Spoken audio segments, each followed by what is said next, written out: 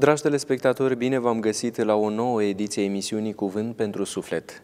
Trăim în era comunicării, avem informații peste tot și putem să găsim uh, informații despre toate lucrurile care ne preocupă.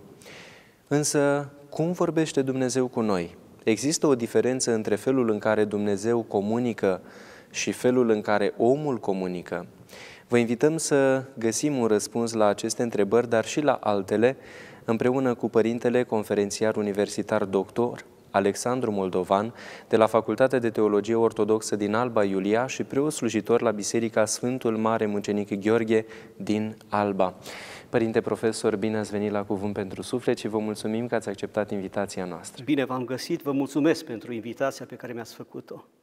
Părinte profesor, o temă frumoasă. Cu toții comunicăm, suntem într-o era comunicării, ne place să fim informați, căutăm informații peste tot, comunicăm între noi și iată că există o sete de comunicare. De altfel, această sete de comunicare este izvorâtă tocmai din nevoia de a nu fi singuri. Ne place să trăim în comunitate și acesta este și unul din motivele pentru care iubim Dumnezească liturghie, pentru că suntem în comunitate, în comuniune cu frații noștri și mai ales cu Mântuitorul nostru Isus Hristos, care este prezent. Ei bine, atunci când vorbim despre comunicare, știm deja cum comunică omul. Însă, întrebarea pe care ne-o punem, privind cuvintele Scripturii, sunteți profesor la Facultatea de Teologie Ortodoxă din Alba Iulia, suntem în paraclisul din cadrul acestei facultăți și predați Noul Testament. De aceea încercăm în ediția de astăzi să vedem dacă există o diferență între felul în care Dumnezeu comunică și felul în care omul comunică. De aceea aș începe ediția de astăzi întrebându-vă, există o diferență între cuvântul lui Dumnezeu și cuvântul omului?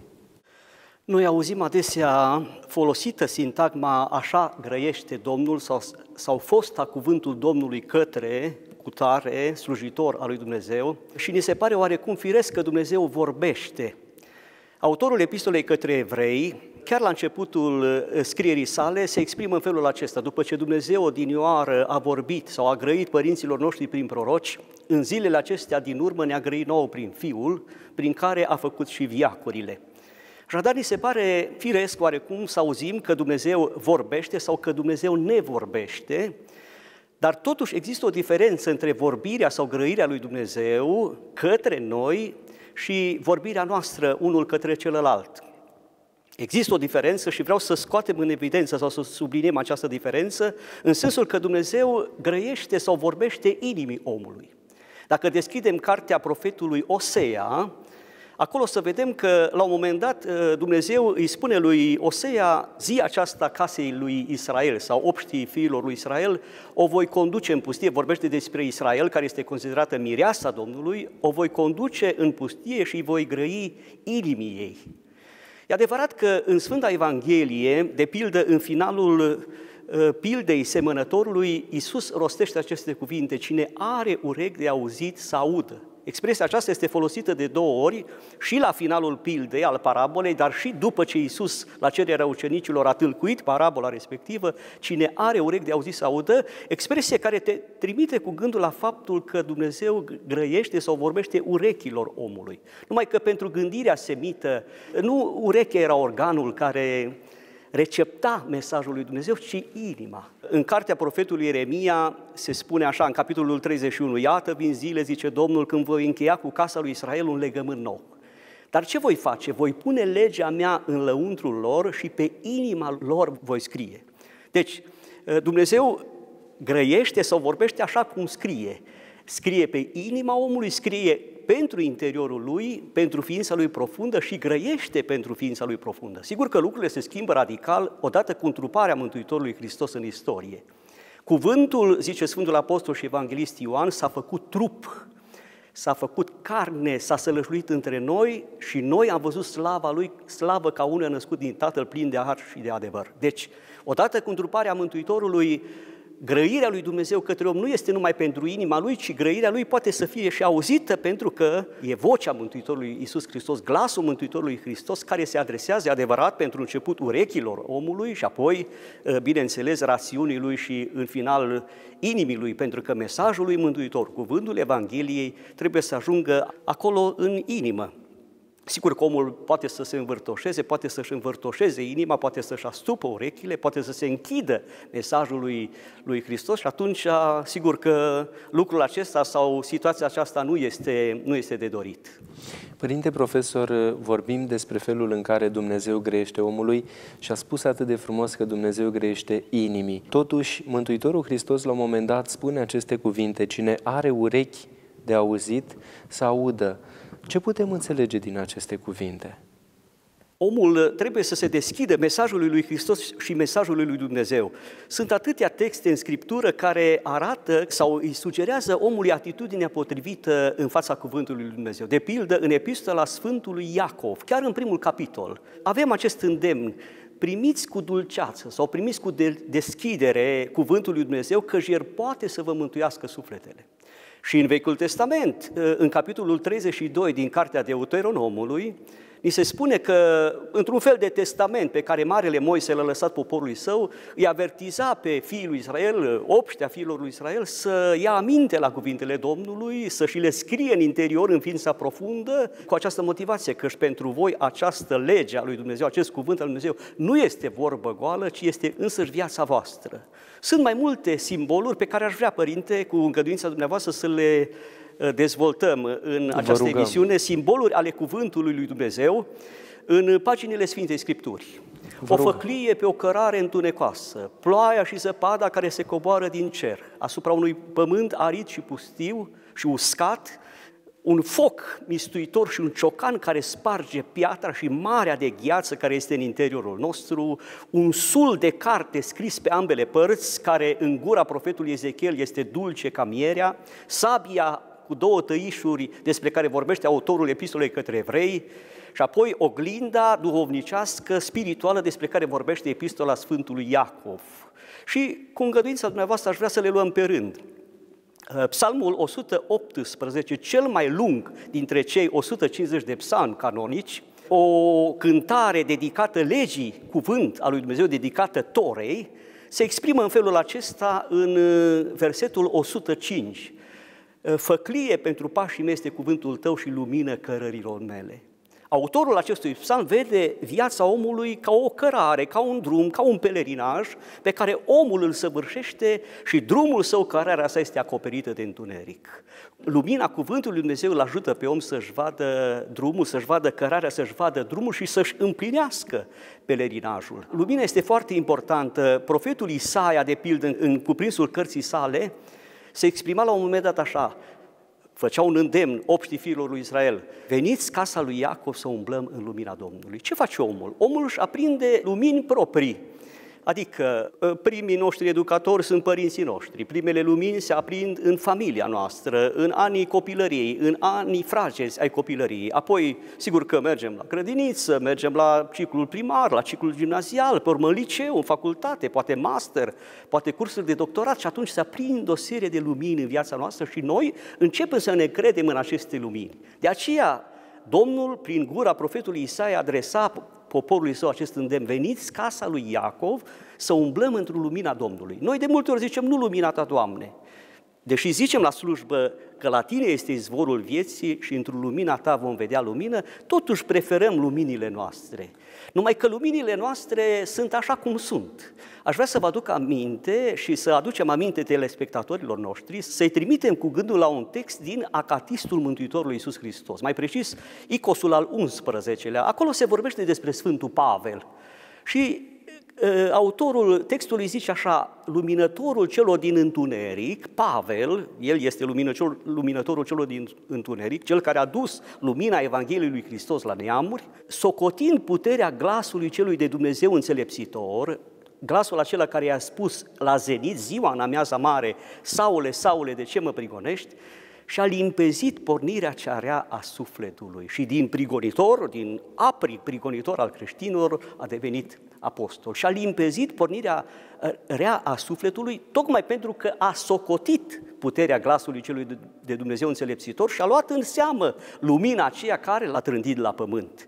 Așa și mie, zice mai departe autorul Icosului, așa și mie, Doamne, luminează luminile cele întunecate ale sufletului. Ei bine, acestea sunt luminile care ne le aprindem noi în timpul vieții noastre și, din păcate, ne încredem în ele, ne punem speranța în ele și spunem noi de multe ori, am citit eu, eu am o școală, am studiat eu, lasă că știu eu, lasă că am văzut la televizor, lasă că, lasă că am citit în cartea cu tare. Ei bine, aceia sunt tăciunii tăi, acela e focul tău. Invitația pe care Dumnezeu ne-o face în cuprinsul Sfintei Scripturi este aceasta. Veniți, casa lui Iacov, veniți toți credincioșii să umblăm în lumina lui Dumnezeu. În lumina lui Dumnezeu care este Hristos. Noi îl slăvim pe Dumnezeu la sfârșitul lutrenii și zicem slavă ție celui ce ne arăta nouă lumina, urmând apoi uh, doxologia mare, slavă într cei de sus de Dumnezeu și pe pământ pace între oameni bunăvoire. Când Iisus i-a văzut în templu pe evrei la sărbătoarea corturilor, agitând acele făclii aprinse, a strigat în templu, eu sunt lumina lumii. Cel ce mi urmează mie nu va umbla în întuneric, ci va avea lumina vieții. Apoi avem celălalt simbol uh, cuprins în cartea profetului Isaia, în capitolul 55, versetele 10 și 11. Profetul Isaia descrie panorama țării sfinte și o descrie în felul acesta, o întindere de pământ arid, pustiu, uscat, lovit de secetă. Ei bine, asupra acestui scenariu de pârjol, de foc, de arșiță, se întinde primăvara și toamna vălul ploii și pământul este străbătut din nou de fiorul vieții. Ei bine, profetul Isaia spune că așa cum se coboară ploaia din cer, ploaia și zăpada din cer și fecundează pământul, îl fac să rodească, dând semânță semănătorului și pâine omului spre hrană, ei tot așa este și cuvântul lui Dumnezeu care iese din gura lui Dumnezeu. Nu se întoarce la cel care l-a rostit, fără ca să-și împlinească rostul pentru care a fost trimis. Apoi, autorul epistolei către evrei compară cuvântul lui Dumnezeu cu o sabie ascuțită cu două tăișuri, care taie și în față, și în spate, și în stânga, și în dreapta, și care este capabilă să pătrundă în adâncimea sau în profunzimea sufletului uman. Autorul epistolei către evrei se exprimă așa, e capabil cuvântul Lui Dumnezeu să pătrundă până la despărțitura fină și insesizabilă care există între Duh și suflet sau între încheieturi și măduvă. Noi nu putem să spunem uh, până unde ține sufletul nostru sau unde se sălășuiește sufletul nostru, în rațiune, în creier, în inimă, în, uh, în viscerele noastre, în măduva oaselor noastre, în toată ființa noastră. Așa cum se exprimă unul dintre psalmii uh, din, din psaltire, binecuvintează sufletul meu pe Domnul și toate cele din lăuntrul meu numele cel sfânta a Lui. Toată ființa mea, ă, toată alcătuirea mea, ființa mea profundă este chemată să laude pe Domnul. Ei bine, cuvântul Lui Dumnezeu poate să pătrundă până acolo, până la acea despărțitură fină și insesizabilă dintre suflet și trup sau dintre duh și suflet. Să știți că au fost oameni care s-au lăsat interpelați de cuvântul lui Dumnezeu și în sufletul lor, în inima lor, în ființa lor profundă, cuvântul lui Dumnezeu și-a găsit loc, până acolo în profunzime. Un exemplu care îmi vine în minte acum este exemplul uh, fericitului Augustin, care a citit un text pe care noi uh, îl, îl citim în cadrul cultului bisericii noastre, tocmai la intrarea în Sfântul și Marele Post. În postul mare, un text din Epistola către Romani în care apostolul se exprimă în felul acesta, fraților, știți în ce timp ne aflăm? Noaptea este spre sfârșit, ziua este aproape, să le pădăm dar lucrurile întunericului și să ne îmbrăcăm în armura luminii. Ei bine, acest text a fost citit de fericitul Augustin la un îndemn tainic pe care l-a primit, ea și citește, a citit acest text și s-a convertit. Să știți că cunosc persoane care s-au curățit, sau care s-au lepădat de patimile trupești, citind sau auzind texte din uh, Sfânta Scriptură. Uh, și vă dau un singur caz, pentru că timpul nu ne permite la, de să prezentăm mai multe. Unul dintre credincioșii noștri a auzit la un moment dat într-o slujbă, cuvintele tale, Doamne, sunt mai dulci decât vinul. El era uh, stăpânit de patima alcoolului, de patima băuturii. Și auzind cuvintele acelea, a primit putere de la Dumnezeu prin cuvântul rostit în cadrul cultului, a primit putere de la Dumnezeu să renunțe la patima alcoolului. De fiecare dată când simțea imbolul acesta de a se apropia de băutură, mergea la acel text al Scripturii care este cuprins în cântarea cântărilor și de fiecare dată îi pierea pofta aceasta spre patima trubească. Apoi, în epistola Sfântului Iacov, în primul capitol, cuvântul lui Dumnezeu se compară pe sine cu o oglindă. Dar de ce este comparat cu o oglindă? Sfântul Iacov le face creștinilor din vremea sa îndemnul acesta de a fi și împlinitori ai cuvântului, nu doar ascultători ai lui. Zice așa Sfântul Iacov, dacă sunteți ă, numai ascultători, nu și împlinitori ai cuvântului, vă asemănați cu acela care își privește fața firească într-o oglindă. S-a uitat și a plecat de lângă oglindă și îndată a uitat cum era. Vedeți, lucrul cel mai important și elementar pe care îl facem atunci când vrem să ieșim din casă, când ne ducem, să zicem, la o întrunire sau la un lucru important, la serviciu sau la Sfânta Biserică, este acela de a ne uita în oglindă. Dar nu privim pur și simplu rama ă, din care este convenționată oglinda, peretele pe care este, este apusă, ci efectiv ne oglindim, ne privim pe noi în oglindă. Și poate că nu întâmplător ă, sau nu e deloc deplasată comparația aceasta, pentru că asta sugerează ideea că noi, dacă vrem să vedem cum suntem în realitate sau dacă vrem să vedem cum ne vede pe noi Dumnezeu, atunci ar trebui să petrecem tot timpul sau să stăm permanent în, în fața acestei oglinzi domnicești, care ne arată nouă uh, cum suntem în realitate și nu cum ne închipuim sau cum vrem noi să arătăm uh, celor din jurul nostru. Părinte profesor, uh, din păcate avem această ispită de a ne uh, pune pe primul loc și în societate și în relațiile interumane.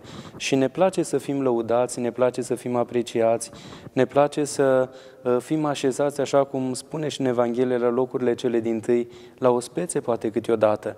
Ei bine, însă pierdem din vedere poate un lucru esențial, că oricât de mult ne-am strădui în lumea de astăzi, oricât de mult ne-am jerfi, nu există un lucru mai frumos și mai de dorit decât să câștigăm împărăția lui Dumnezeu. Iar pentru a putea câștiga împărăția lui Dumnezeu, este nevoie să înlăturăm toată această arșiță, toată această învârtoșare a inimii și această inimă de gheață să o transformăm într-o inimă plină de căldură, ca în ea să se sălăjulească Fiul lui Dumnezeu celui viu.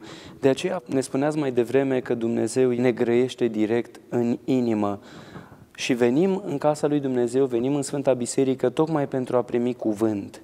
Sigur este de preferat să citim măcar un capitol din Noul Testament, din Vechiul Testament, măcar un capitol pe zi și sigur și un psalm ar fi bine.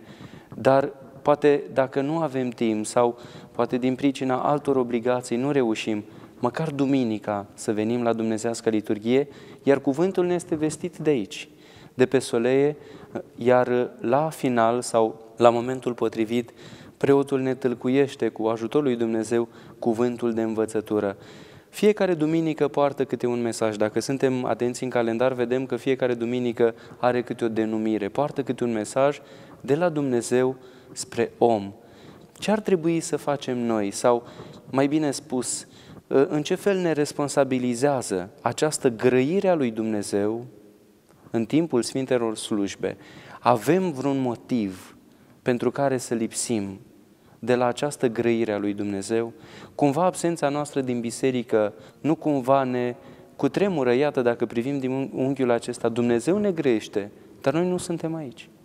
Da, ă, știți ce se întâmplă? Cuvântul poate să fie o armă și de multe ori a fost o armă eficace, puternică, dar în același timp ă, aceeași armă sau același mijloc prin care Dumnezeu ne se comunică poate să fie slab, în sens slab nu pentru că el nu ar fi eficace și că n-ar fi viu și lucrător, pentru că așa se exprimă autorul epistolei către evrei, că și cuvântul Dumnezeu este viu și lucrător.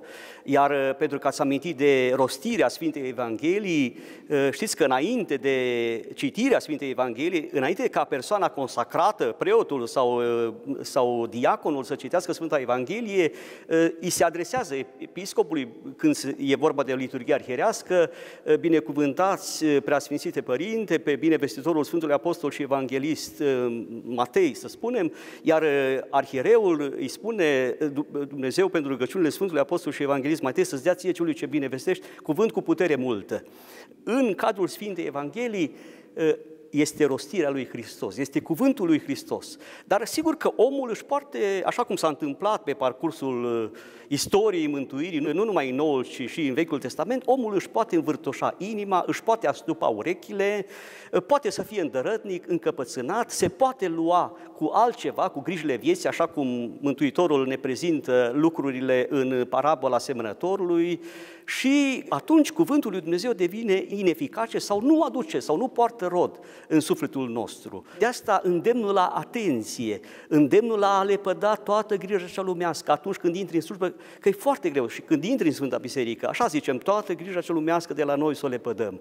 În Biserica Slavei tale stând în cer, mi se pare asta. Suntem în antreul, în vestibulul, în anticamera împărăției lui Dumnezeu în biserică și atunci ar trebui să sporim atenția noastră. Sigur că tot ceea ce se întâmplă în jurul nostru, vârtejul în care ne învârtim în lumea aceasta, agitația, toată agitația, toată tulburarea, chiar uitatul acesta la mijloacele de comunicare în masă, la televizor, la internet, la calculator, pe tabletă sau pe telefonul mobil, toate acestea tulbură profund atenția omului și e foarte greu omului atunci când calcă pragul bisericii să se concentreze, să-și deschidă sufletul, măcar câteva minute să intre în contact și în dialog viu și lucrător cu cel care l-a adus la ființă sau la existență.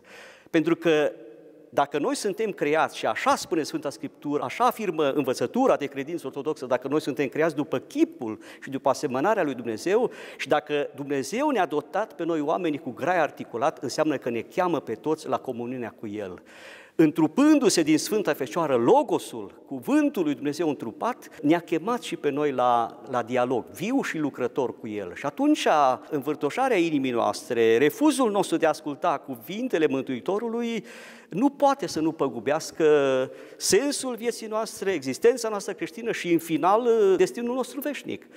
Să știți că Mântuitorul are un cuvânt foarte greu în Evanghelia după Ioan, în capitolul 12. Acolo Mântuitorul se exprimă așa, dacă cineva nu mă ascultă pe mine și ne socotește cuvintele mele, să știți că va avea un judecător sau va avea cine să-l judece. Ei, tocmai cuvântul pe care l-am spus, acela îl va judeca pentru că a fost nesocotit, pentru că a fost nebăgat în seamă și n-a fost lăsat să producă rod în sufletul, în sufletul omului. Ei bine, acel cuvânt care a fost rostit și lăsat să treacă pe lângă urechile noastre și pe lângă inimile noastre, ă, acel cuvânt va fi judecătorul nostru. În altă parte, în Evanghelie, Mântuitorul spune că în asta stă judecata. Vedeți, noi avem duminica din, ă, din perioada triodului, duminica înfricoșătoare judecă și acolo ni se spune că criteriile judecății vor fi faptele milei trupești. Am fost golă și m-ați îmbrăcat, am fost flământ și mi-ați dat să mănânc, însetat și mi-ați dat să beau, în temniță și m-ați cercetat, bolnav și ați venit la mine toate actele de milostenie, toate gesturile de empatie, de dragoste,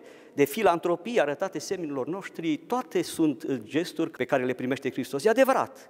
Numai că în Evanghelia după Ioan, în capitolul 3, în celebra convorbire sau discuție pe care Mântuitorul o poartă cu unul dintre membrii de vaza ai Sinedrului, cu fariseul Nicodim, Iisus se exprimă în felul acesta spre judecată, ă, asta spune la sfârșitul episodului cu orbul din naștere, spre judecată am venit în lumea aceasta ca cei care nu văd să vadă și cei care văd să fie orbi.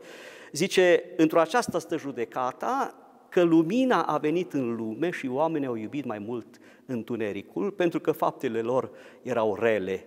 Într-o aceasta stă judecata, deci prin atitudinea sau atitudinea noastră față de lumină. Atitudinea noastră față de Cuvântul lui Hristos este decisivă și, cum spuneați, omul se păgubește și creștinul se păgubește profund dacă lasă uh, cuvintele Mântuitorului să-i treacă pe lângă urechi și nu, le, uh, și nu le asimilează mai întâi în rațiunea lui și apoi nu le coboară în inimă. Vreau să vă spun, părinte, că Origen, la un moment dat, marele exeget alexandrin, punea pe aceeași treaptă împărtășirea din trupul și sângele Domnului cu împărtășirea din cuvintele sale, din cuvântul său. Și zice așa, voi, atunci când săvârșiți Sfânta și Dumnezeiasca liturghie, sunteți cu băgare de seamă și cu luarea minte să nu scăpați pe jos nimic din trupul Domnului, nici măcar o fărâmitură, pentru că socotiți că e un păcat grav și că prin aceasta ați nesocoti trupul lui Hristos și pe bună dreptate, așa este. Dar întreabă Origen, Socotiți că sunteți mai puțin vinovați dacă lăsați să treacă pe lângă urechile voastre cuvintele sale. Ei, Trebuie să luăm aminte la cuvintele acestea ale Marelui Origen, ale Marelui Exeget al Scripturii, care avea curajul să pună, vedeți că noi în liturghie avem cele două părți ale liturghiei, liturghia cuvântului și liturghia euharistică. Prima parte, în care se rostesc uh, textele din apostol, textele din Evanghelie, la unele slujbele bisericii, chiar texte din Vechiul Testament pe care le numim paremii, trebuie să fim atenți să asimilăm, pentru că dintre toate cuvintele care se rostesc, și se rostesc multe în cadrul slujbei, în cadrul cultului, cât petrecem în biserică, nu știu, un ceas, ă, o jumătate de ceas, trei sferturi de oră, nu se poate ca din multitudinea de cuvinte care se rostesc acolo să nu fie cel puțin unul care să ni se adreseze sufletului nostru. Un cuvânt eficace, viu și lucrător care ar avea puterea să, să ne transforme sau să, sau să ne schimbe. Părinte profesor, cu adevărat este nevoie să avem această deschidere și pentru că, din păcate, ne îndreptăm spre finalul ediției de astăzi emisiunii noastre, aș vrea să vă rog, poate sunt telespectatori care ne urmăresc și care doresc să-și deschidă inima de acum înainte și să primească cuvântul lui Dumnezeu. Sigur, acum în societatea actuală, pe lângă, ă, sigur, această obligativitate pe care o avem de a participa la Dumnezeiasca liturghie și este de la sine înțeles că în afara bisericii nu există mântuire, iată că prin rânduiala și grija lui Dumnezeu avem ă, televiziunea Trinitas, avem centrul de ă, presă Bazilica și sigur avem iată acces la informare, la binele de știut până la urmă pe care îl propovăduim. Deci iată că avem de unde să ne informăm și Dumnezeu grăiește și își așează cuvântul său în inimă, dacă acea inimă sigur este deschisă, așa cum foarte frumos a spus mai devreme. Ei bine, poate sunt telespectatori care ne urmăresc și doresc să fie și ei receptivi la acest cuvânt al lui Dumnezeu. Ce ar trebui să facă? Eu vreau să le adresez telespectatorilor noștri îndemnul pe care apostolul Iacov, pe care l-am pomenit, apoi Marele Moise îl adresa obștii fiilor lui Israel. Îi îndemna, luați aminte la cuvintele acestei legi, scrieți-le în interiorul vostru, în inima voastră, vorbiți-le copiilor voștri despre ele, pentru că avem și datoria aceasta ca în familie să le vorbim copiilor și apoi, bineînțeles, nepoților, dacă Dumnezeu ne învretnicește și ne dă viață și ne ține lumea aceasta, avem datoria aceasta de a vorbi chiar de a le porunci. Moise folosește exprimarea aceasta, porunciți-le copiilor voștri. S-a diminuat foarte mult, vedeți, ascultarea copiilor față de părinți, ascultarea elevilor, a discipolilor față de dascălilor, față de învățătorilor. Părinții și dascălii și învățătorii nu mai pot să poruncească, pentru că e văzut lucrul acesta ca o încălcare a libertății proprii, a fiecăruia. Uh, ori Moise spune așa, porunciți-le copiilor voștri. Și când e vorba de poruncă, aceasta nu este lăsată așa la voia sau la îndemâna sau la discreția fiecăruia. Porunca nu se discută, ci se execută. Uh, porunciți-le copiilor voștri. De ce? Pentru că pentru voi aceste cuvinte nu sunt vorbe goale, ci este însăși viața voastră. Apoi, îndemnul apostolului Iacov, primiți cu dulceață cuvântul lui Dumnezeu, primiți-l cu deschidere, cu disponibilitate și o să vedeți ce miracole sau ce este în stare să facă cuvântul lui Dumnezeu în inima uh, dumneavoastră. Și apoi, îndemnul pe care îl face Sfântul Apostol Pavel în epistola către evrei, astăzi, dacă ați auzit cuvântul Domnului, nu vă învârtoșați inimile. Părinte profesor, vă mulțumim pentru frumoasele și ziditoarele de suflet cuvinte pe care le-ați rostit. Din păcate, punem punct ediției de astăzi emisiunii noastre. Vă așteptăm și într-o ediție viitoare și să ne ajute Bunul Dumnezeu ca și noi să ne deschidem inima ca să primim cuvântul Lui. Vă mulțumim! Cu mare drag! Dragi telespectatori și dumneavoastră, vă mulțumim pentru atenția acordată și așteptăm în continuare mesajele dumneavoastră la adresa afișată pe ecran. Până data viitoare vă invităm să rămâneți alături de programele televiziunii Trinitas a Patriarhiei Române. Pe curând!